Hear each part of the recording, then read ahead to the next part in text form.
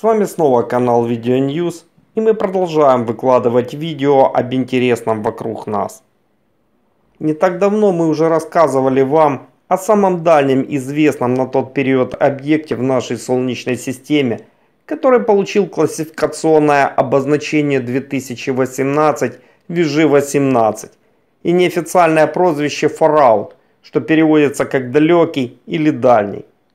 Тогда мы задались непроизвольным вопросом, а сколько же этот фараут сможет оставаться самым удаленным от Земли и Солнца. Как оказалось, совсем недолго.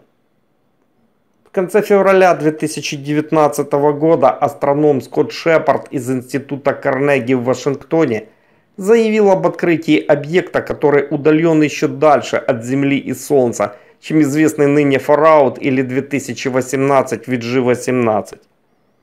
Если текущее расстояние от нашего центрального светила до Фараута составляет 120 астрономических единиц, что примерно в три раза дальше удаления Плутона, то открытое недавно космическое тело пребывает сейчас на 20 астрономических единиц еще дальше.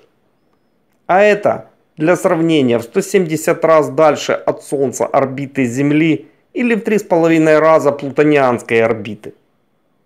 Данное открытие стало возможным благодаря анализу снимков, полученных при помощи 8-метрового телескопа Субару из обсерватории Мауна Кеа на Гавайях и ряда других инструментов. Скотт Шепард предложил называть свое открытие пока что Фарфараут, что можно перевести как «очень-очень далекий».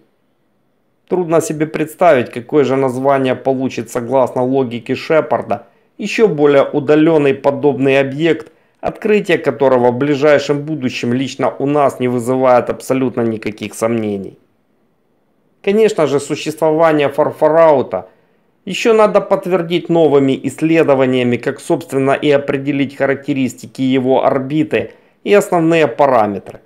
Однако уже сейчас можно сказать, что данное открытие – стало знаковым на пути пока что безуспешного поиска неизвестной девятой планеты Солнечной системы, или как ее еще называют планеты X.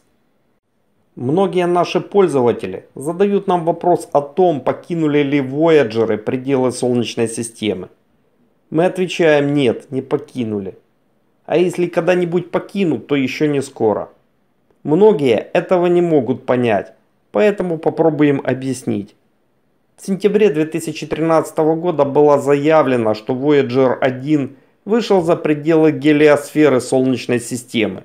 И сейчас его примерное удаление от Солнца оценивается в 110 астрономических единиц, что даже меньше, чем нынешнее удаление Фараута, не говоря уже об удалении недавно открытого Фарфараута.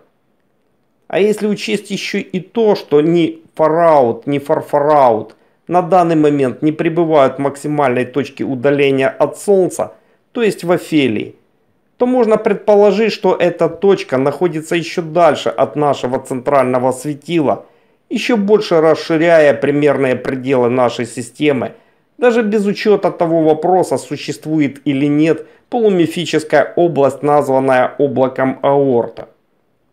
Как видим, открытие Фарфараута важно не только с точки зрения поиска планеты X, но также и в плане понимания и хотя бы приблизительной оценки пределов Солнечной системы. Что ж, будем ждать новых данных по этому объекту, с которыми по возможности будем вас знакомить в последующих выпусках. На этом канал Video News благодарит всех вас за внимание и надеется, что наша информация была для вас полезной и интересной. Смотрите нас на видео, ставьте лайки, комментируйте. Ну и подписывайтесь на наш канал.